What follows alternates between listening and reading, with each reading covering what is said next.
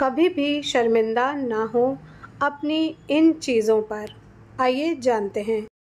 Number एक, अपने पुराने कपड़ों पर। पुराने कपड़े आपकी प्रतिभा को परिभाषित नहीं करते। यह सच है कि हमारे कपड़े हमारे अस्तित्व का हिस्सा होते हैं, लेकिन हमारी प्रतिभा और क्षमता को वे कभी परिभाषित नहीं कर सकते। अपने काम में माहिर होने के लिए आपकी मेहनत, संघर्ष और उत्साह महत्वपूर्ण है और यह केवल आपके वस्त्रों पर निर्भर नहीं करता है। जब आप अपनी कला या कौशल में माहिर होते हैं तो आपके पुराने कपड़े केवल एक छोटा विचार होते हैं, जो आपके महत्वपूर्ण काम में कोई असर नहीं डालते। नंबर दो, अपने गरीब या कमज़ोर दोस्तों पर। गरीब दोस्तों के साथ रिश्तों में कोई स्थिति नहीं होती। दोस्ती की महत्वपूर्ण बात यह है कि वे आपके जीवन के साथी हैं और आपके साथ हर परिस्थिति में खड़े हैं। यह रिश्ता धन या स्थिति से नहीं, बल्कि सच्चे स्नेह और समर्पण से बढ़ता है। गरीब दोस्त अक्सर जीवन की सच्चाई को समझते हैं और आपके जीवन को अधिक समृद्ध और सार्थक बनाते हैं। इसलिए दोस्त किसी खजाने की तरह हैं और इसमें कोई भी सामाजिक स्थिति का कोई महत्व तो नहीं होता है।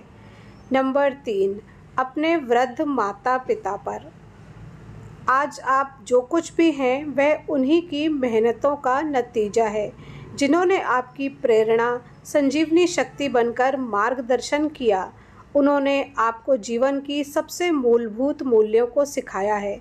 संवेदना और स्नेह दिया है।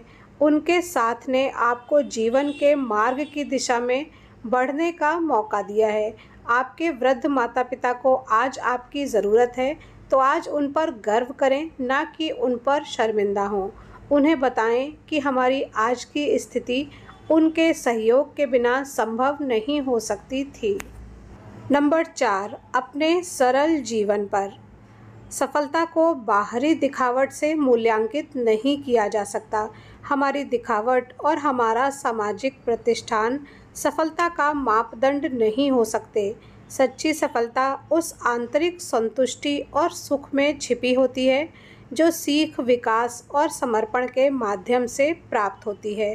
व्यक्ति की आत्मसमर्पण, मेहनत और योग्यता ही उसकी सफलता का सच्चा मापदंड होते हैं और यह उसके कपड़ों या बड़े घर की दिखावट से कभी नहीं जुड़ता।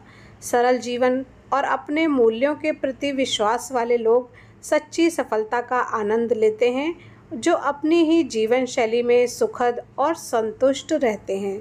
तो ये थी ऐसी चार चीज़ें जिन पर आपको कभी शर्मिंदा नहीं होना चाहिए। Thanks for watching.